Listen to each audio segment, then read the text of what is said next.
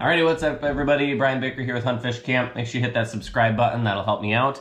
Uh, and we can't get on the ice around here, at least not in the La Crosse area in Wisconsin on the Mississippi River. It is wide open. It is uh, after Christmas, we're almost to the new year and we have no ice. It's crazy. I'll be headed up north here in a couple days, so I'll be bringing you some uh, ice fishing content here pretty quick. I'm gonna get out, just gotta get out and catch some fish. But today, uh, talking gear.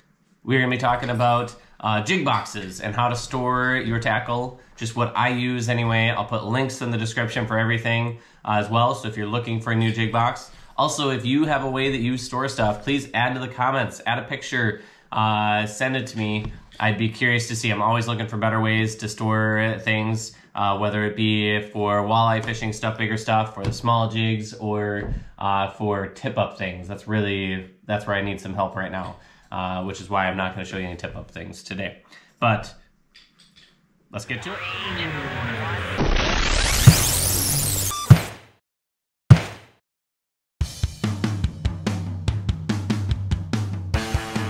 Okay, so on me all the time, I'm always wearing my bibs, and so there are two things that I always carry with me. Um, these are these two boxes. Now these are very, very tiny. So this first one right here uh, just an Amazon purchase. I don't even know what the brand is, doesn't say on it.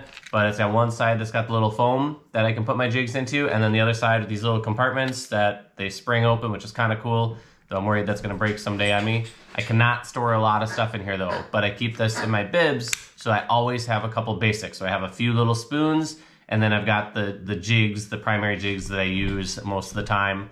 Um, and I like the foam because it keeps them separated. They're not banging around. They don't get really dirty and nasty um, which is good. I don't like the foam because they're kind of a pain. Sometimes the jigs get stuck in there. Sometimes they get over stuck on the edge. So it's kind of annoying that way. So I do use uh, my other jig box. I sort of prefer, however, the jigs get dirty and gross over time. And so I'm still a little indifferent on it. But this is what I use for my basic jig box right here. The other one I always uh, carry with me is this little tiny guy, uh, which I absolutely love this jig box actually. There are not jigs in it at all there are plastics. So it has 10 little compartments and that is enough. I have essentially, I have the BY Baits bloodworm in there. I have a few other things, but in a variety of colors because that's my go-to. That's what I use most of the time. Uh, it's my confidence. Uh, plastic is what that is. I'm actually testing a new plastic uh, right now. So I'm tested out some lifted fishing plastics because they have scents uh, other things there too. So I'm gonna, I'll be bringing you a video on that. I'm gonna test it out. I'll compare it to the bloodworm. We're gonna do a whole bracket on scents and which scents work and which ones don't. Uh, and then we'll compare it to the bloodworm as well, the BY baits, and we'll see what's what's best. So I'll let you know uh, what that is. So maybe I'll be sticking with this. Maybe I'll be switching over and starting a new uh, new chapter in baits. Okay, so those two I carry with me all the time because my coat is not always with me. Sometimes it's at my sled, my shack. I move around, move around a lot while I ice fish in my coat then. So then I do keep uh, a few more things. So I've got this Lakco box. This is my number one box, the one I've used for many, many years. I really like this one. If you're uh, just looking to start out and get a box, this is the one I would get. They're cheap. Uh, you can buy them just about anywhere.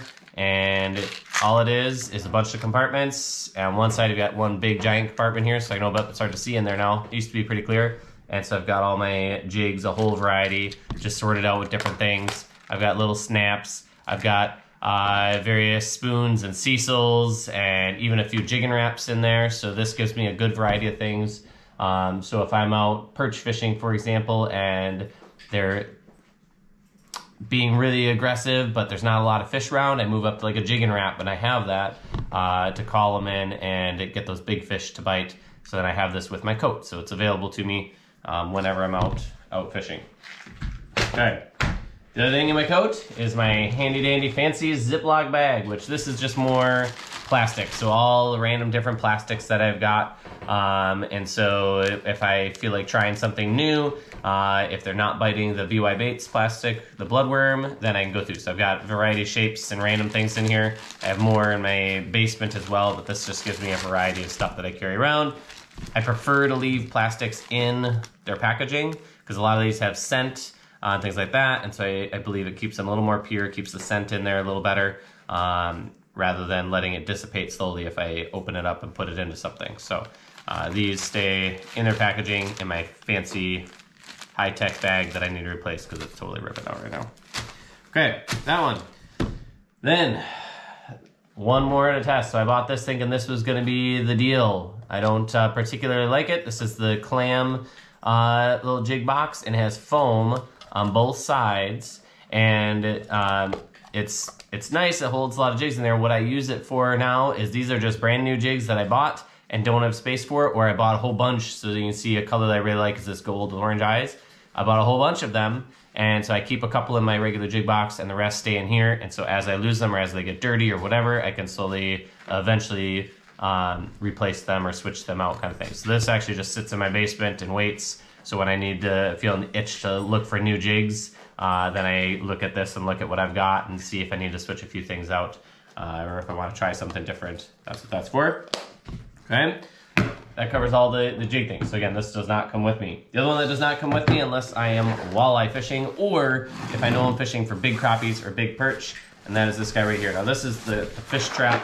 This is meant to be mounted into a shack is what that is, but it holds perfectly on this Plano double-decker box. And so this is all spoons, so let's open that up. Uh, so spoons and jigging raps on top, along with a few other things in there. And then I like that it's this double-decker box, even though the top end it gets a little shuffled around if I'm gonna open it up like this.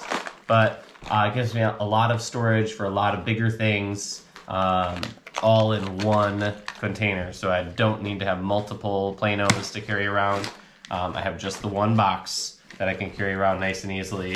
And then I like having this um, because I have, so in the top has like my tip up lights type stuff, a few extra plastics or baits that I haven't opened yet type thing can be in those, those pockets. So walleye fishing, sits at home, does nothing, just stores some baits. Always with me, but in my coat, so not necessarily carried with me every second of the way. And then I've got the two that I carry with me 100% of the time, always on me. They are the smallest ones because I don't want to carry a bunch of junk around. So the less I can carry, the better. And be honest with yourself, when uh, you go fishing, you use the same bait 90% of the time, which is the same for me. I really only need a couple of things and um, I'm trying to be better at that and not buying more all the time, but it's fun to try new stuff. They just tend to not work. Hopefully that helps you out. Uh, if you're going to go out and get something, again, add in the comments. What do you use? What do you like to use uh, for your walleye things, for your jigs or plastics or uh, or tip up uh, things as well? I have a different box I use for treble hooks and uh, leaders and whatnot for, for tip up things. But let me know uh, what you use. Always looking for new ideas. And the goal of this channel is to help you get out and catch some fish. So hopefully this helps you choose a jig box to use for this ice fishing season.